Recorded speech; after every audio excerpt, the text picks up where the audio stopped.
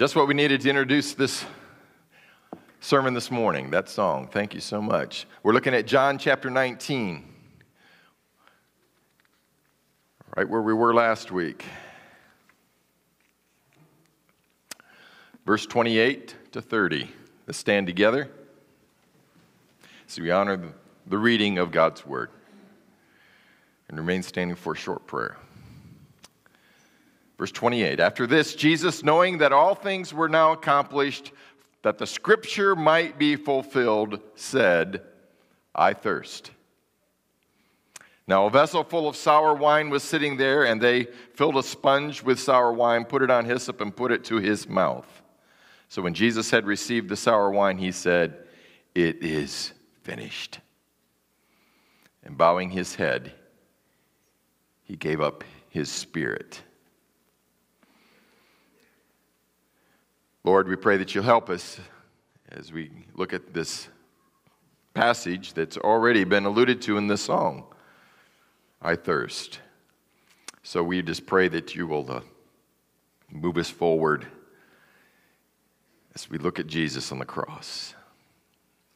Thank you, Lord. Thank you, Lord, for dying on the cross. In Jesus' name, amen. You may be seated. During Lent, we've been preaching the seven last statements Jesus made from the cross, his, his famous last words. That's what we're titling it. And we kind of got hung up because of a couple of Sundays where we had to cancel. Uh, spring is coming. Uh, uh, eventually, it will be here. Possibility of snow again, but it, spring may come. Uh, I'm dreaming of a white Mother's Day. That's what I'm dreaming of. you know, I thought, thought it'd be different this year. We don't have white Christmases. Maybe we can have white Mother's Days or something, you know. Uh, just, just saying. I'm not complaining or anything.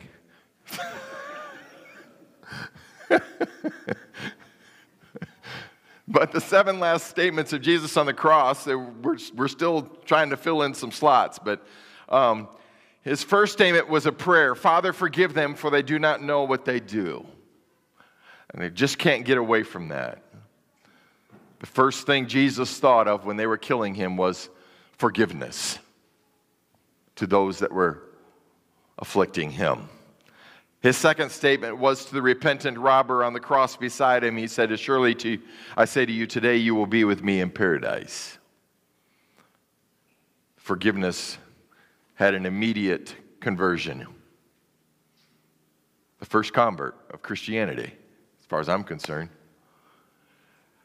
Jesus' third statement was to his mother and to the disciple John. It was at the foot of the cross, as the woman, behold your son. And John, behold your mother.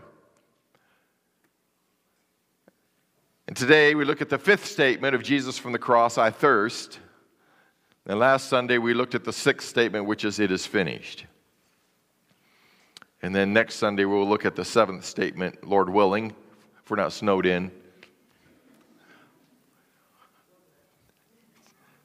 Which says, Father, in your hands I commit my spirit. As we look at this fifth statement of Jesus from the cross, I thirst, it's two words in English, but it's like it is finished. It's only one word in the Greek text.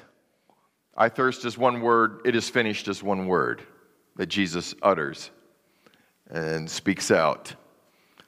But this word gives us a glimpse into the physical struggle Jesus was enduring as he died. And as each sermon uh, each week I've quoted a, a famous last word from someone um, who is dying, and the last words that they said every, each week. And um, last week was really interesting. The guy who took his own pulse and said, stopped, uh, and pronounced his own death. Um, and uh, for it is finished. But today I want to look at uh, Benjamin Franklin. As Benjamin Franklin lay dying at the age of 84, his daughter told him to change position in bed so that he could breathe more easily. And uh, Franklin's last words, as she was trying to adjust him and we, can, we need to do this so you can breathe more easily. He said, A dying man can do nothing easy. A dying man can do nothing easy. I thought how appropriate Jesus saying, I thirst. Because he was a dying man. His death was not easy. It was not easy. Why was this statement included in John's account? I think dehydration that Jesus was facing right there uh, emphasized three ideas. The first is I thirst emphasized prophecy fulfillment. I'm going to have to build to this um, so you can see it, but I haven't mentioned it before. But I've been intrigued in this study with how the gospel writers each chose different statements to include in their crucifixion accounts. And I don't know if you under, realize this, but John, right here in this passage, he makes three statements of Jesus. He records three.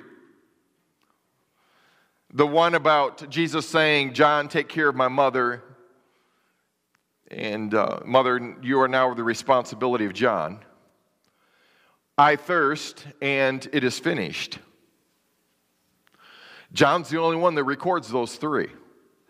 Dr. Luke, who is a contemporary with Paul and came a while later, he wrote about three of them. Jesus saying, Father, forgive them. They do not know what they do. He also records Jesus saying to the thief, Today you will be with me in paradise. And he's the one who records the other prayer of Jesus, which is, Father, into your hands I commit my spirit. He's the only one that records those three. Three and three totally different. And then Matthew and Mark, the two of them, record the other statement of Jesus on the cross. When darkness came and covered the earth from the sixth to the ninth hour, and Jesus cried out, My God, my God, why have you forsaken me? That's the only one they record.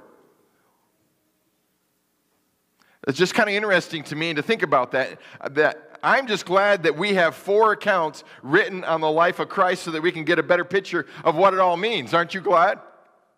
Because if we just read any one of those, we would see at the most just three statements of Jesus from the cross. But we get the full picture from all four of them, and we understand he had seven different statements that were so powerful, each one meaning a lot. So, John is obviously making a special emphasis as he adds these two words of Jesus in his gospel. And for a clue, we notice verse 28. After this, Jesus, knowing that all things were now accomplished, that the scripture might be fulfilled, said, I thirst. Now, John was there at the cross, and Jesus had given him the responsibility for taking care of Mary, his mother. So, John had watched Jesus suffer now for six hours. And John wanted his readers to know that Jesus was completing the task for which he had come to earth. Jesus, he writes, knowing that all things were now accomplished, said, I thirst. The physical pain had been intense. The weight of darkness and sin had been borne until Jesus could stand it no longer. Jesus did not give in to Satan and sin and darkness. His mission had been accomplished. Jesus, knowing that all things had now been accomplished. Jesus was at that point he only had a couple more statements to make. He only had a couple more minutes to live. And he would be done with the cross. He would have finished God's plan of salvation. He was down to the end. All things have been accomplished.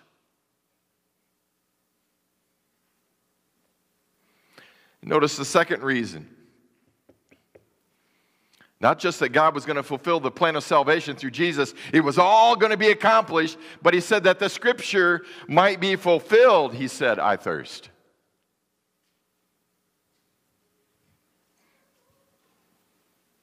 Now, John had observed Isaiah 53 and Psalm 22 and many other Old Testament passages being fulfilled in the life and the death of Jesus. In fact, John mentions more scriptures fulfilled in verses 36 and 37 right here, the passage. Later on, after Jesus is dead, he talks about the fact that it fulfills a scripture where they pierced him in the side.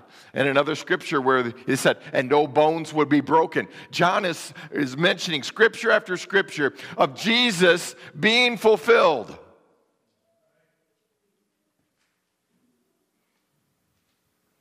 And he says, knowing that the mission had been accomplished, and Jesus, knowing that the scriptures were being fulfilled, said, I thirst. John had just heard the cry of Jesus, quoting Psalm 22, where he says in verse 1, My God, my God, why have you forsaken me?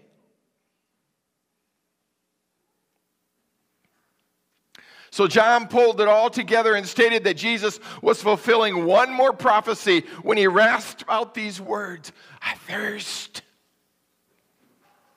Again, we turn back to Psalm 22, verses 14, 15, where David wrote these words of the crucifixion scene that somehow were given to David, and he wrote them out, starting with the words, My God, my God, why have you forsaken me? But these words, particularly point out to this message, David wrote, I am poured out like water. All my bones are out of joint, which is where I get the idea that some people feel like they pulled their arms out of the sockets as they were straightening them out on the cross so they would resist less. My heart is like wax. You know what it's like to have blood like wax? Doesn't flow too well. It has melted within me. My strength is dried up like a potsherd. I mean, okay, take an old dried out piece of pottery that's been laying outside in the hot sun. And he says, My tongue clings to my jaws. You have brought me to the dust of death. John wrote that one reason Jesus said, I thirst was to fulfill this scripture. Maybe there's another one in his mind, but this is the one that comes to my mind.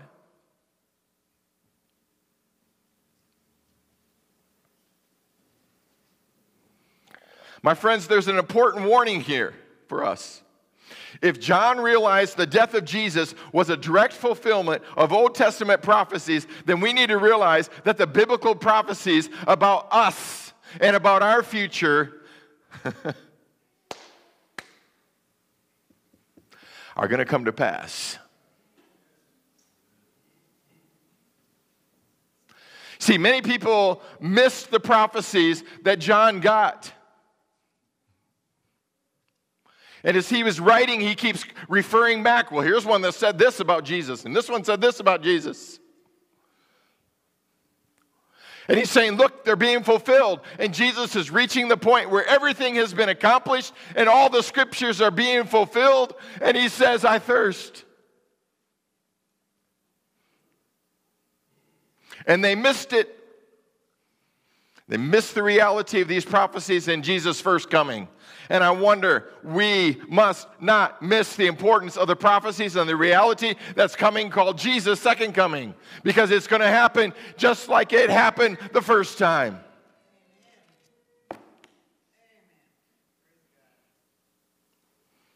Isn't that interesting?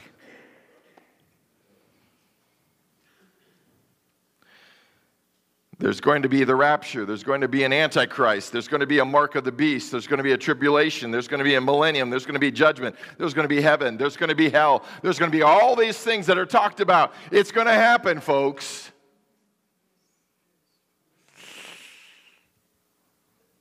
Just pointing it out that the words I thirst emphasize prophecy fulfillment.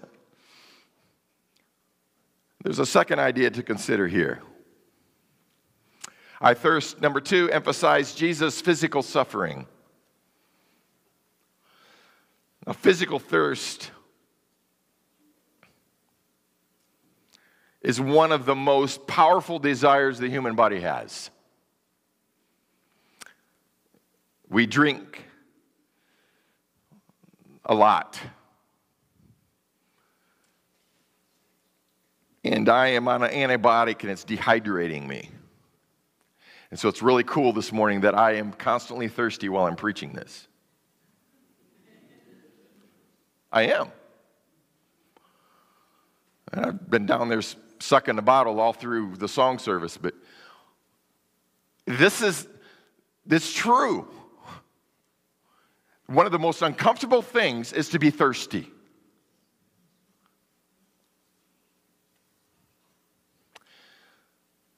Uh, we are constantly told how important it is stay hydrated, stay hydrated. We have all seen the, the runners that are, or bikers and all different kind of things when they're, when they're out there, even in the, in the, um, in the ball fields. What do they do when they come in to the sidelines? I mean, and, and there's, a, there's a timeout, and they got guys running around with these bottles and squirting it in, you know. And, and then they're spitting it all over everything. And I mean, it's a constant thing. As, as the runners are going by, they have periodic tables set up and stations where they know it's about time for them to get a drink, and some of them pour it over their heads and keep on going, you know.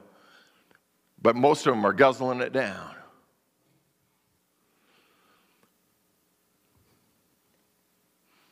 The loss of body fluid uh, due to perspiration and in endeavor has to be replenished. In fact, Gatorade itself was designed for that very purpose. Isn't that interesting? The whole story behind that. Water was not enough. So, some smart guy developed Gatorade to replenish. I have been with many hospice patients towards the end of life, and, and for some of them, dehydration was an issue. When the body is shutting down, one of the things that happens is for some, uh, choking hazards. And so you're no longer allowed to give them drinks. And I've sat there and they would beg me, Can I please have some water? And so we have these little sticks. They look like sucker sticks, just about, but they're a little stronger than that. And on the end of it is a little sponge.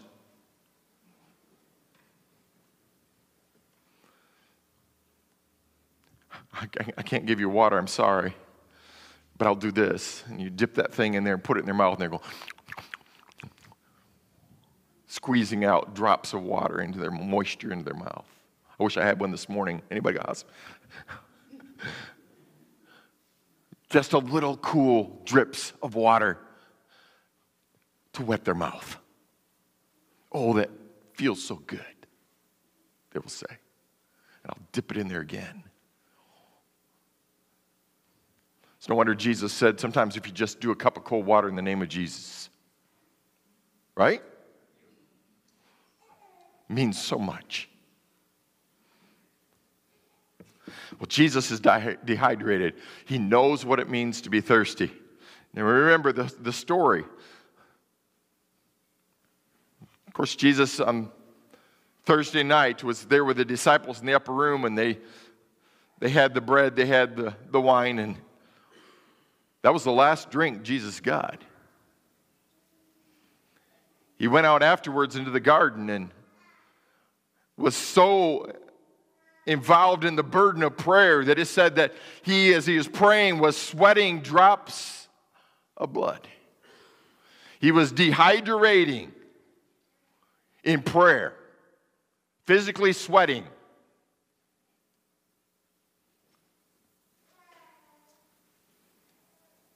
according to Luke 22 44. And then it says that he went to the trial.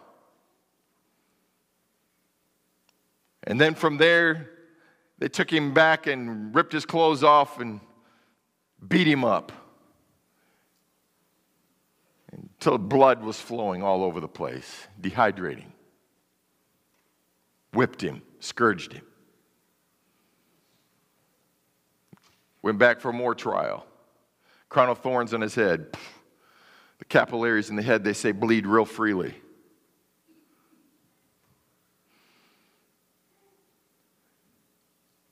Then they take him out to the cross. And they finally offer him a drink, sour wine mixed with a narcotic, so that most of the soldiers would, would offer this and, the, and the, the criminals would take it that were being crucified because it would help dull the pain what they were going to face over the next few hours. So they had it ready and available, but he refused to take it. He did not want the mixture of the narcotic. That drink would have dulled the pain, and Jesus didn't want to take the easy way out, so he refused the little bit of moisture that perhaps he could have gotten from that.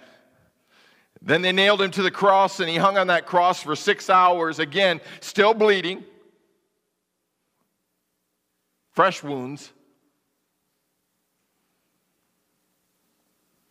Three hours were in bright daylight sunlight as the sun was reaching the zenith, the peak of the day. And then three hours in darkness. His body was drained, his tongue was like a stick in his mouth, his lips were cracked, he could barely talk. He was dried, drained.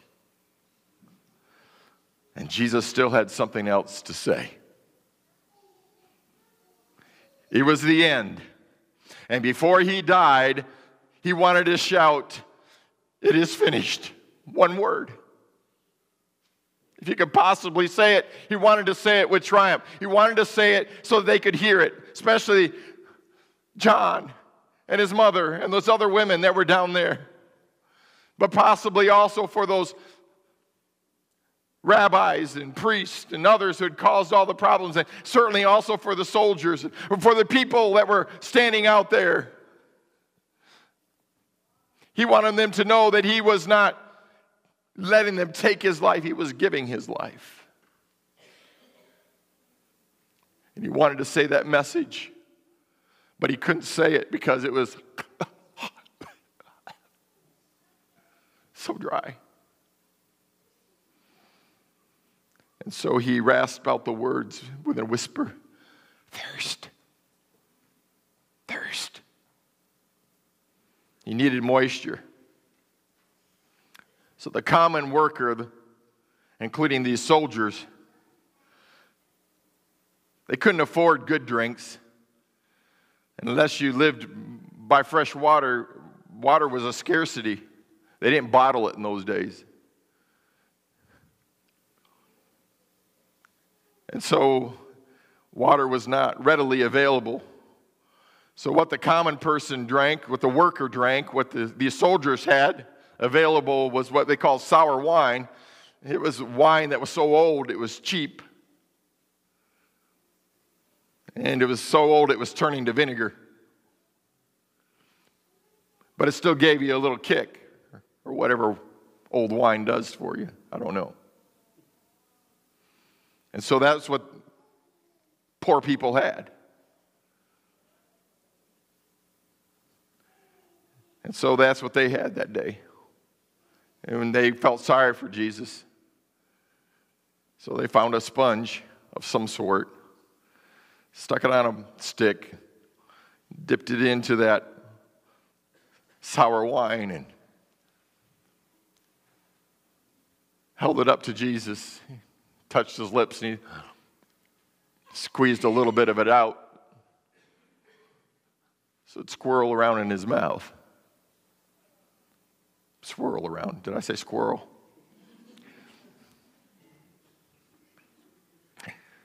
I'm so dry.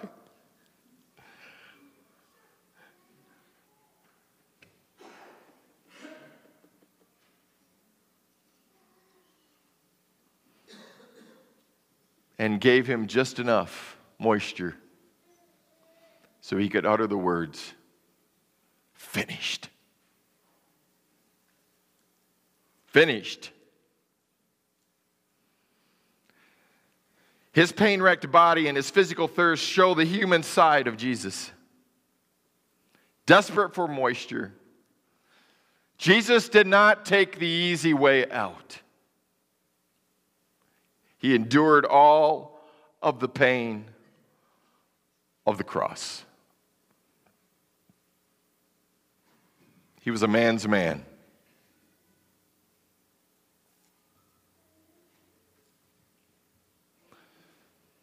He was the Son of God. But there was a deeper meaning to his thirst.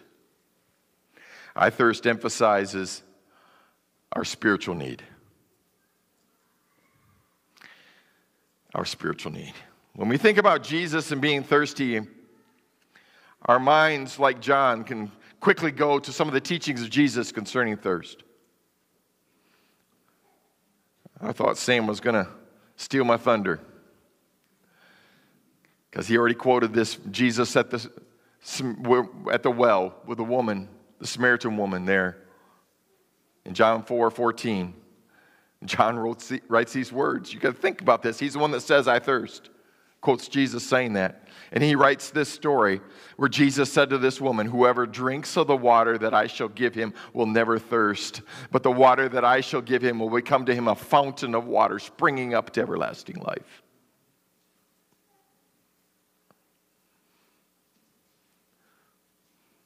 Few pages later in John's gospel, he writes the story of Jesus coming to the temple.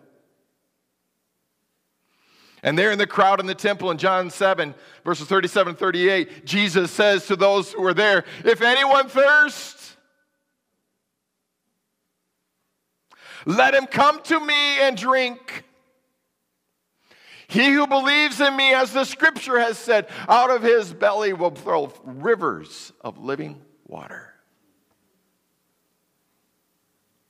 Of course, John was there when Sermon on the Mount was given, and one of the Beatitudes, maybe one of my favorites,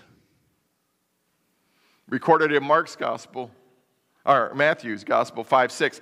Blessed are those who hunger and thirst after righteousness, for they shall be filled. And the tense of the verbs is such that it says, Blessed are those who hunger and keep on hungering. Blessed are those who thirst and keep on thirsting for righteousness for they will be filled. Keep on thirsting.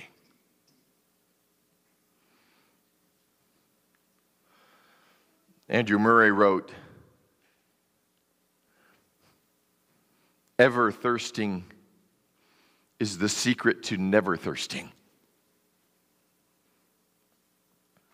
I've got that on my door in my office. I read it often. You see, the key to spiritual life is being thirsty for more of God.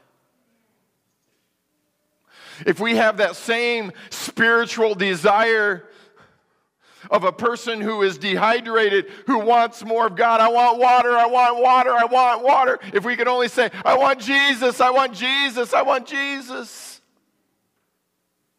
If we can go through life saying, I want more of God. If that's our attitude, and the only thing that will satisfy is Jesus, I thirst, I thirst, I want you, I want you. Ever thirsting will keep you from never thirsting. Because if you keep seeking God with that kind of passion, and that kind of energy and that kind of desire, guess what? You will never be looking for answers out there. Because Jesus is the one who satisfies. Blessed is the one who hungers and thirsts and keeps on thirsting for righteousness because he will be filled. Ever thirsting will keep you from thirsting. Because Jesus satisfies. He has living water springing up and overflowing. And once you taste and see that the Lord is good, the sour wine of the world will never satisfy. Because Jesus refreshes like nothing else.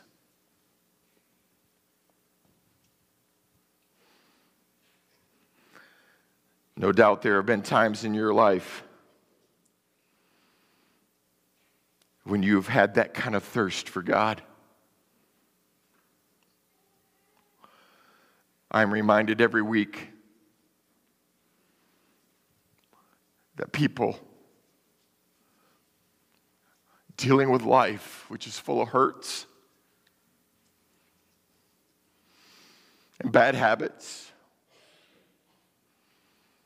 and hang ups and hates. That's life. It's very hurtful.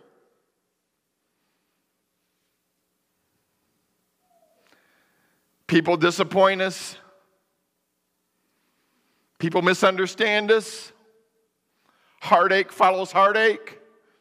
Hurt follows hurt.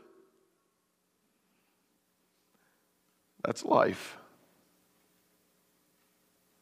And somehow the, the world always projects that there's a different life. But most of us know the reality is not that life out there where they live heavily ever after. And everything always turns out, and the, the prince gets his princess, and, and they ride off into the sunset together, and everything's going to be wonderful. If you could just get through high school, everything's going to be wonderful.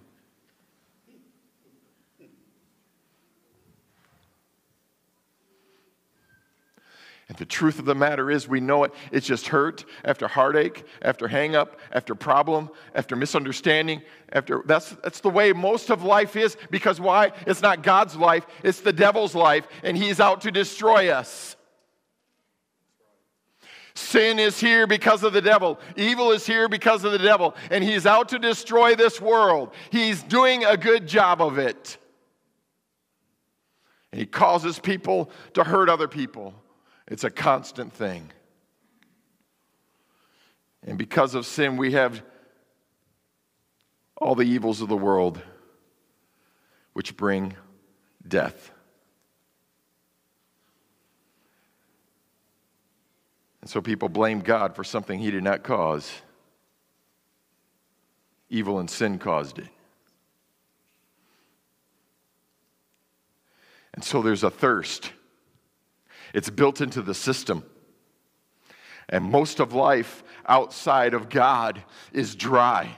It's a desert experience. It leaves people drained and thirsty and needing something that will saturate and fill every cell and once again make you vibrant and feel like life is worth living. And the only thing that will happen, really fill that longing, I'm telling you, is Jesus Christ.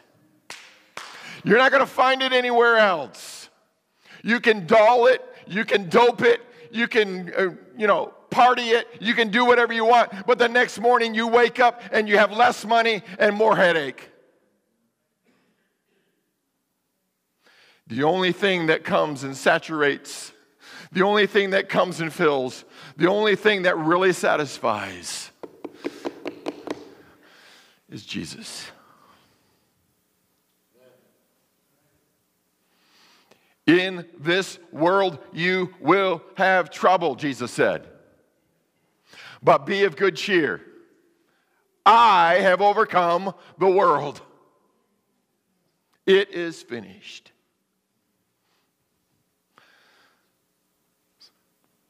So run to Dr. Ruth or Dr. Phil or Dr. whoever, Houston. And Dr. Oprah, she'll solve it all. And Dr. Oz.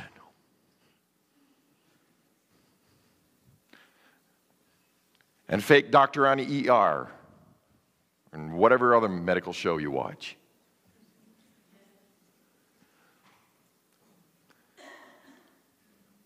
Or you can go to the great physician. because Jesus is the only answer to spiritual thirst.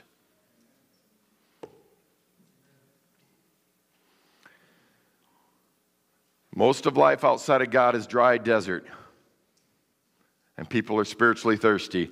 So, throughout our lives, and especially every Sunday, as Christians, we hold out our cups to God and plead for refreshing spiritual drinks. Oh God, fill my cup, Lord. I lift it up, Lord. Come and quench this thirsting in my soul. Bread of heaven, feed me till I want no more. Fill my cup. We come on Sundays and we fill up. Why? Because we're going out to a dry, desert, thirsty land. And we need all that we can get. And some of us, we're so weird, we come again throughout the week. Fill my cup. I need more. I need a Bible study. I need a prayer group. I need a meeting. Why? Because I'm out there and it's dry and it's thirsty. And I need Jesus. And that's why we open the Word every day. And that's why we get on our prayer bones every day. That's why we have a prayer closet every day. That's why we talk to God and read His Word. Why? Because we're thirsty and people are draining us. Our families are draining us.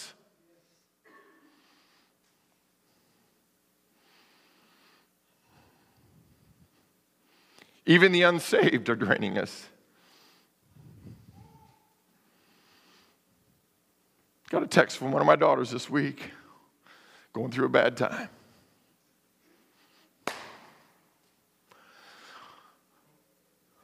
We're praying for you.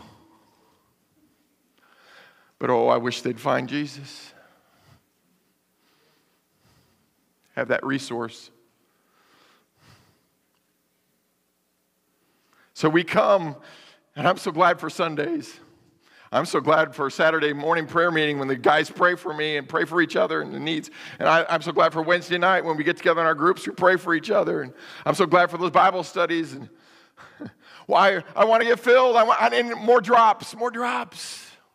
And sometimes during the week, all I can do is just come and pray. And oh God, I can't, I can't handle it. I can't fix people. I can't solve all this world. It's a dry, dreary, dead world out there, and it's just soaking everything that got out of me.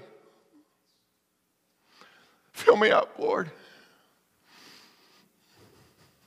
I didn't know I was going to spend all this time on this, but you need it. So I just want a Gatorade bath. I don't care what it looks like. I don't care that it'll stick all over and the rest of the day. You wonder how those guys feel. But I just want to be wet by Jesus. Right? I just want to be filled with something that satisfies because you don't find it out there. No, you will not. Thank you for Sundays. Thank you for praying for me. Thank you for brothers and sisters in Christ because you encourage and help and strengthen each other. We thirst, God fills us. And to the sinner, let me say, there is nothing in the world of sin and evil that will satisfy your inner spiritual thirst like Jesus will. He died on the cross to wash you clean from sin. You will never be satisfied. You will never be filled until you experience the living water that comes from Jesus Christ. There is a fountain.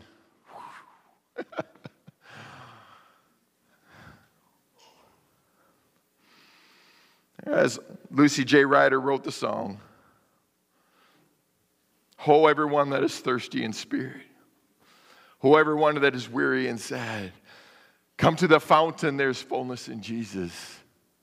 All that you're longing for, come and be blessed or fed or whatever it is. I will pour water, Jesus says.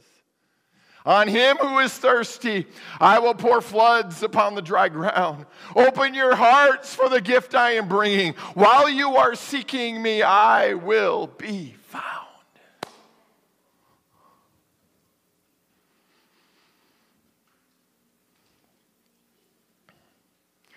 Jesus' death on the cross is a direct fulfillment of Scripture, a direct fulfillment of God's plan for our salvation, a direct fulfillment of eternal life. cross and the resurrection. Jesus' physical dehydration shows that Jesus is willing to suffer so that we don't have to suffer. And Jesus' dehydration gives us the question Are you spiritually thirsty this morning? Do you have a desire to quench your hunger and thirst for God? Because I'm telling you, nothing else will meet that need. Nothing else will meet your spiritual need. As dry as I'm feeling right now, nothing's going to do it except a sip of water here in a moment. And as dry as I get spiritually, nothing does it but Jesus. It's the only thing that'll fill you up again so you can continue to live the Christian life. And if you're not a Christian, it's the only thing that will finally satisfy all the dry desert wilderness experiences that you're living. Oh, it's still a desert out there. Don't get me wrong. I'm not promising you something. But you won't be dry. They will be, but you won't be if you're tapped into Jesus. He has the resources to satisfy the longings of your inner being. As the praise team gets ready, we have family altar time at our church. I say this every Sunday. Come and pray. Talk to Jesus about anything that you want. Whatever your needs may be, you come and talk to Jesus about it. But if you're feeling kind of thirsty or dry this morning, haven't talked to Jesus in a while, you just may need a, a, a bathing, a cleansing, a cleaning up, a, a filling of that warm water or the cold water. You know, just something about a glass of water with the ice tickling in it and the sweat running down the outside. You just want to go, that's what Jesus feels like to me. Just to know cool, refreshing Jesus. Thank you, Jesus. Lord, we thank you right now. We thank you.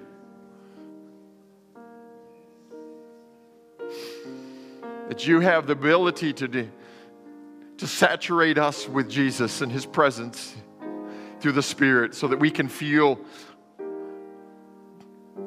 we can feel quenched we can feel bathed. We can feel cleansed. We can feel saturated. We can feel whole again. And here in our congregation, there's people that have been going through a lot. There's been physical things, there's been spiritual issues, there's been financial issues, there's been family issues, there's been relationship issues, there's just been work issues, there's been hurt. And Sunday they come here and they hold their cup up and they say, Well, God, fill me up again. So I pray today for a deluge from God. I pray that you'll fill up our cups, Lord, as we hold them out to you. Fill our cups and help us to feel your presence again, oh God, in this altar time. Fill us up with you, we pray. In Jesus' name, amen. As we stand together, come and pray. Come and talk to Jesus about your dryness. Symbolically today, it would just be awesome if we could just take whatever it is and bring it to the cross and let it go.